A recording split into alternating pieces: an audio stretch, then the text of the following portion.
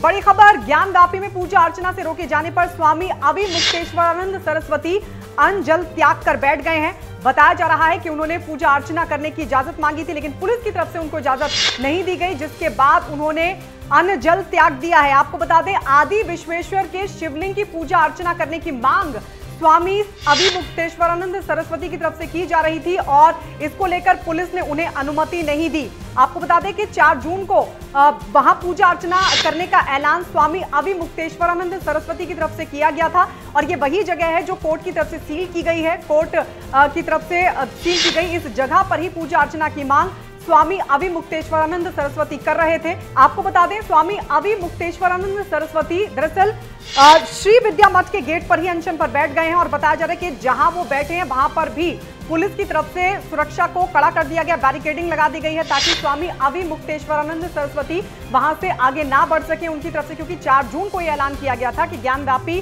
ज्ञानव्यापी में वो पूजा अर्चना करेंगे। आदि विश्वेश्वर के शिवलिंग की पूजा अर्चना करेंगे और इसको लेकर पुलिस की तरफ़ से पहले ही उनको इन्फॉर्म कर दिया गया था। बावजूद इसके, स्वामी अभी मुक्तेश्वरानंद नहीं माने और उनकी तरफ़ से कहा गया कि वो पूजा अर्चना करेंगे, जिसके बाद पुलिस की तरफ़ से एक कदम उठाया गया है। जहाँ पर वो अनशन पर बैठे हैं, उस पूरे एरिए को भी पुलिस का जो सुरक्षा पहरा है वो लगा दिया गया है। इसके अलावा बैरिकेडिंग लगा दी गई है ताकि वो आगे ना बढ़ सके। तो ये बड़ी खबर आपको बता दें, क्योंकि पूरा जो मामला है वो कोर्ट में चल रहा है और कोर्ट की तरफ़ से उस पूरे एरिया को सील किया गया है। ज्ञान में जब सर्वे हुआ था, शिवलिंग वहाँ से निकला था और उसके बाद सुप्रीम कोर्ट की तरफ़ से आदेश दिया गया था कि उस पूरी जगह को सुरक्षित रखा जाए और वहाँ पर सीआरपीएफ के जवान बाकायदा सुरक्षा में तैनात किए गए हैं। पूरे एरिया को, पूरे जगह को सील कर दिया गया है, लेकिन स्वामी अभी मुक्तेश्वरानंद लगातार अड़े हुए हैं। उनकी तरफ़ से आज के लिए, यानी 4 जून के लिए ऐलान किया गया था कि वो वहाँ जाकर पूजा अर्चना करेंगे, लेकिन पुलिस ने इस बात की अनुमति नहीं दी। उनको बताया गया कि मामला कोर्ट में चल रहा है और उस जगह को हमने सील किया हुआ है। बावजूद इसके, स्वामी अभी मुक्तेश्वरानंद सरस्वती लगातार वहाँ पर पूजा अर्चना के लिए अड़े हुए हैं और उनकी तरफ़ से ये ऐलान भी किया गया कि जब तक वो आदि विश्वेश्वर के शिवलिंग की पूजा अर्चना नहीं करेंगे तब तक वो अन्न जल नहीं लेंगे। इसके अलावा उन्होंने ये भी कहा कि ज्ञानवापी में मिला शिवलिंग हमारे आदि विश्वेश्वर का पुराना ज्योतिर्लिंग है। देवता की पूजा इसलिए की जाती है क्योंकि उसमें प्राण होते हैं, भगवान को भूखा प्यासा नहीं रखा जाता। उनका स्नान, श्रृंगार, पूजा, भोग, राग नियमित होना चाहिए। इसके अलावा स्वामी अभी मुक्तेश्वरानंद की तरफ़ से ये भी कहा गया है कि हमारी छोटी सी मांग है कि हमें हमारे आराध्य के दिन में एक बार पूजा अर्चना करने दी जाए। पुलिस के लोग हमारे सामने हमारा रास्ता रोक कर खड़े हो गए हैं। पुलिस अपना काम करेगी।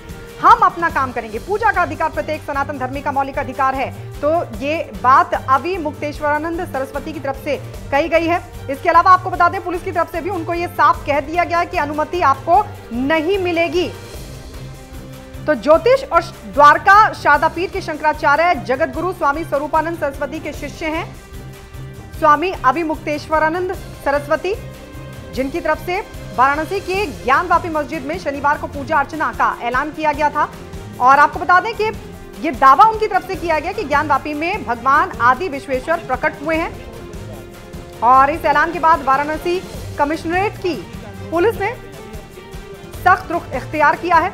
और ये साफ़ तौर पर कहा है कि हमने पहले ही इन्फॉर्म कर दिया है कि यहाँ पर पूजा अर्चना की अनुमति नहीं दी जा सकती। उसके बावजूद भी अगर वो ज्ञान वापी जाएँगे तो उनके खिलाफ कठोर कार्रवाई होगी। इसके अलावा पुलिस की तरफ़ से ये भी जानकारी दी गई कि छह थानों की जो पुलिस है, वो उनके श्री विद्या मठ के इर्द गिर्द तगड़ी घेराबंदी किए हुए है। मठ की ओर आने जाने वाले रास्ते पर बाकायदा बैरिकेडिंग कर दी गई है।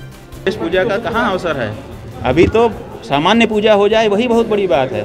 तो हम तो ये चाहते हैं कि भगवान को नमक भात भी का भोग हम लगा दें। अभी हम खीर पूड़ी वाले नहीं अभी छप्पन भोग नहीं लगा सकते। अभी तो न, जो उपलब्ध सामग्री हो उससे उनकी पूजा हो जाए। इतना ही ज़रूरी है। प्राण प्रतिष्ठित देवता को रोज भोग लगना रोज उनको पानी का भोग लगना भोजन का भोग लगना ज़रूरी होता है। रोज उनका स्नान ज़रूरी होता है जैसे हमारे आपके लिए होता है। तो वो प्रतिदिन उनको कम से कम मिनिमम एक बार तो हो जाए। अभी तो हम इसकी चिंता कर रहे हैं। देखिए अनुमति अनुमति अनुमति नहीं दिया उन्होंने लेकिन फिर हमने एक पुनर्विचार याचिका दी है।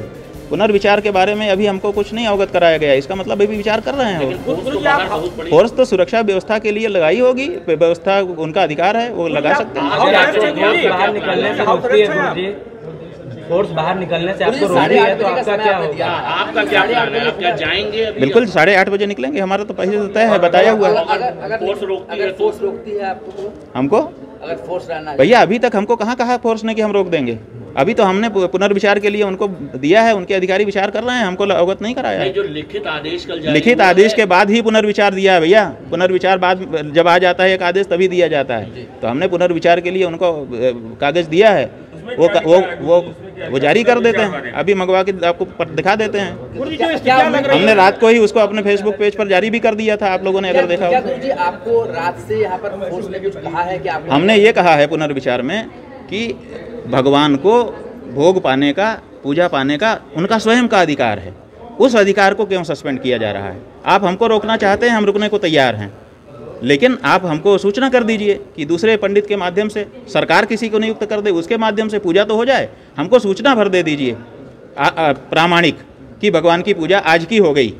तो हम हम नहीं जाएँगे, हमको ऐसी कोई जिद नहीं है कि हम स्वयं जाएँ। लेकिन गुरुजी हम हम हम चाहते हैं कि पूजा से भगवान वंचित न रहें। उनके नित्य कम से कम एक पूजा हो। गुरु जी जब हमने पूछा कल इस बात को प्रशासन से प्रशासन का ये कहना है कि वहाँ पर सील की प्रक्रिया है। भाई का भाई सील, की प्रक्रिया है तो जहाँ सील है उसी के सामने पूजा की सामग्री रख के हम प्रणाम कर लेंगे तब भी हम मान लेंगे कि उनके तक पहुँचा दिया है। जैसे जब हम नहीं रहते हैं घर में तो बाहर जो पोस्ट बॉक्स होती है उसमें चिट्ठी डालने से मान लिया जाता है कि उनको चिट्ठी मिल गई। तो हम ताले के बाहर तक रख देंगे पूजा की सामग्री प्रणाम करके आ जाएँगे। हमको क्या दिक्कत है?